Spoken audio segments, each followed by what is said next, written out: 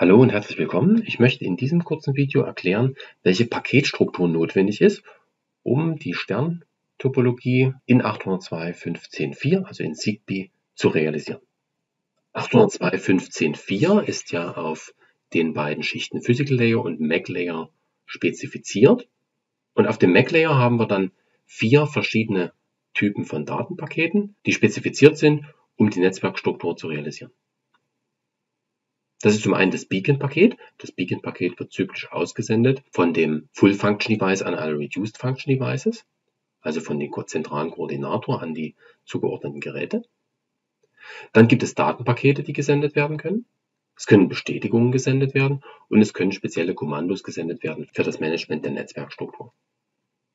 Wir schauen uns zunächst nochmal den Physical Layer von 802.15.4 an. Da haben wir verschiedene Frequenzen, auf denen der Standard operieren kann nämlich 868 MHz, 915 MHz und 2,4 GHz. Maximal ist eine Leistung von 100 mW, möglichst also relativ geringe Leistung und damit relativ geringe Reichweite, die man hiermit erzielen kann. Innerhalb der verschiedenen Frequenzbereiche hat man nochmal mehrere Kanäle, die möglich sind, je nachdem, was man dort an Kanal zwischen Sender und Empfänger vereinbart. Gleichzeitig sehen wir hier auch die Übertragungsraten, die jeweils möglich sind. Das sind mit maximal 250 Kbit pro Sekunde nicht viele Daten, die hier pro Zeiteinheit übertragen werden können. In den anderen Frequenzbereichen 868 und 915 MHz sind es sogar noch weniger, nochmal Faktor 10 weniger Daten, die man übertragen kann. Mit 20 Kbit pro Sekunde ist es eine sehr, sehr leistungsarme Übertragung, die man hier vorliegen hat in dem Standard. Wenn man sich aber vor Augen hält, dass eigentlich nur ganz kleine Datenpakete gesendet werden, also beispielsweise Temperaturwerte oder andere Werte, die irgendwie aus einem physikalischen Prozess kommen und dass hier kein ständiges Update dieser Daten passieren soll, dann ist 20 Kbit pro Sekunde mehr als ausreichend, um hier die Daten zu übertragen. Und jetzt schauen wir uns im ersten Schritt mal das Datenpaket für den Physical Layer an. Da haben wir zunächst den Startbereich des Paketes. Den macht eine sogenannte Präambel aus und ein Start of Frame Delimiter. Wofür wird das jetzt gebraucht? Das ist ganz ähnlich wie in der drahtgebundenen Übertragung. Der Empfänger muss erst einmal den Beginn eines Datenpaketes erkennen. Und dafür gibt es die Präambel, die dauert 32 Bit und das ist eine charakteristische Sequenz an Bits, meistens 0 und 1 im Wechsel. Und anhand dieser Sequenz kann der Empfänger sich zunächst mal auf den Datenstrom des Senders synchronisieren. Das heißt, er kann die Bit-Anfänge und die Bit-Enden erkennen.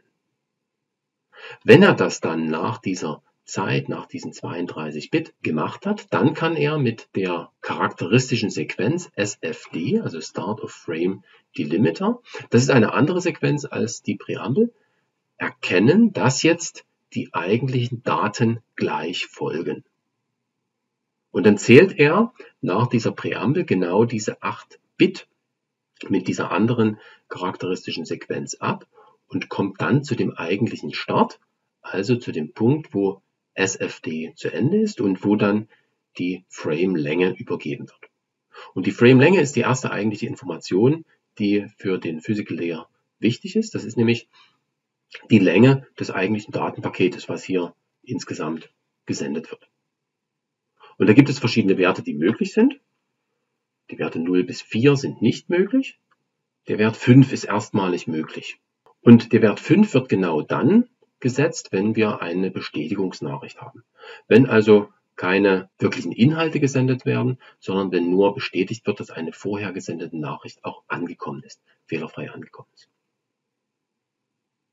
Dann sind wieder die Werte 6 und 7 reserviert, nicht möglich. Erst die Werte 8 bis zur maximalen Paketgröße sind dann wieder möglich und die maximale Paketgröße ist bei dem Standard 127 Byte. Das heißt, in dem Parameter der Framelänge wird mit diesen 7 Bit die Information übergeben, wie lang das eigentliche Datenpaket insgesamt ist. Das darauffolgende Bit ist dann wieder reserviert bzw.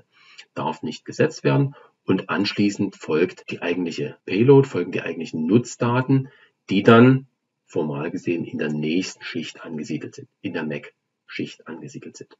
Wenn wir uns dann die MAC-Schicht wieder anschauen, wie die strukturiert ist, dann haben wir zunächst mal den Frame-Typ, der enthalten ist in den Nutzdaten der MAC-Schicht.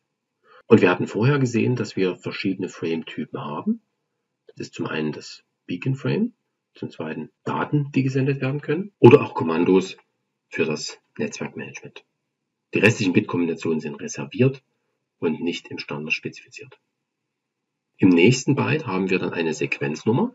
Das heißt, wir können den Datenpaketen auch Sequenznummern mitgeben, wenn wir zusammenhängende Daten haben.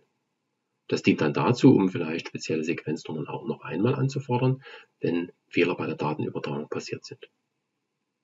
Dann haben wir den Bereich der Adressierung. Dort haben wir erstmal den PAN Identifier, also Personal Area Network Identifier, der hier ein bestimmtes Netz identifizieren kann und dann die eigentliche Adresse des Knotens, der betroffen ist von der Kommunikation. Das ist wieder aufgeteilt in Ziel, Quelle, also in Destination und Source für diese Adressen. Und dann haben wir die eigentlichen Nutzdaten, Frame Payload, die dann an die Adresse angehangen werden. Im letzten Bereich haben wir zwei Byte, die sogenannte Frame Check Sequence. Die haben wir auch in der drahtgebundenen Kommunikation, weil wir am Ende eines Datenpaketes, meistens am Ende eines Datenpaketes, eine Prüfsumme erzeugen und diese Prüfsumme auch noch mit anhängen. Wir können anhand der Prüfsumme erkennen, ob ein Fehler bei der Datenübertragung passiert ist wenn diese Prüfsumme nicht zu dem passt, was vorher an Daten empfangen wurde, wenn also beim Nachrechnen der Prüfsumme der Empfänger feststellt, die Prüfsumme stimmt nicht mit dem überein, was ausgerechnet wurde, dann wird hier ein Fehler erkannt. Dann ist also ein Fehler in der Datenübertragung passiert und dann wird keine Bestätigung gesendet oder es werden vielleicht die Daten noch einmal angefordert. So viel also zur prinzipiellen Struktur des Frames. Und jetzt schauen wir uns das Beacon-Paket noch einmal etwas genauer an. Da haben wir im ersten Bereich wieder das, was wir im generellen, prinzipiellen Datenpaket vorfinden, nämlich den Frame-Type, Sequence Number und die Adressfelder.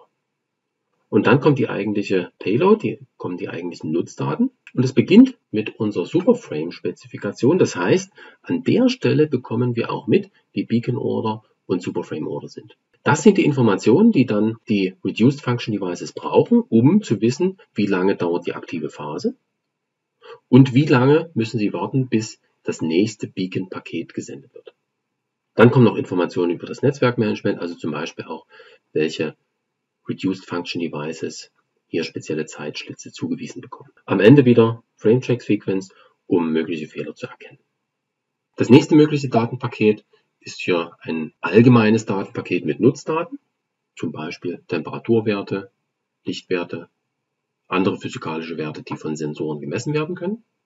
Beginnt wieder mit den Managementinformationen, Typ, Sequenznummer und Adressierung. Dann werden die eigentlichen Nutzdaten angehangen, also Informationen der höher gelegenen Schichten, der Anwendungsschichten. Und abgeschlossen wird das ganze Datenpaket wieder durch eine Framecheck-Sequenz. Wenn ein Fehler erkannt werden soll, dann wird wieder berechnet, ob die Framecheck-Sequenz mit der ausgerechneten Framecheck-Sequenz übereinstimmt. Wir haben noch ein ganz kurzes Datenpaket, nämlich das Bestätigungspaket.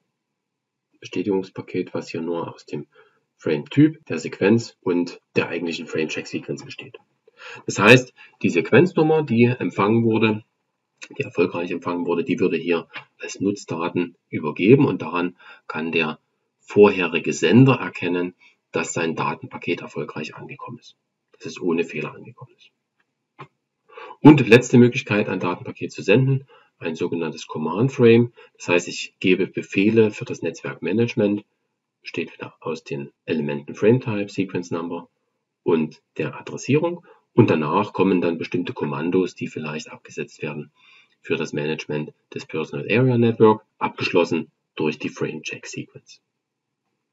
Das waren also kurz zusammengefasst die Datenpakete, die bei 802.15.4 möglich sind, mit dem entsprechenden Zweck, dass man das Beacon-Paket vom Full Function Device sendet, um den Anfang der aktiven Phase zu markieren.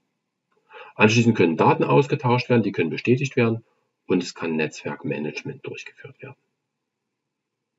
Sie sehen anhand der Struktur der Datenpakete, dass die relativ einfach gehalten sind. Relativ einfach auch, weil man hier keine komplexe Kommunikation aufstellen möchte, sondern weil man eine sehr energiesparende, eine sehr einfache Re Kommunikation realisieren möchte.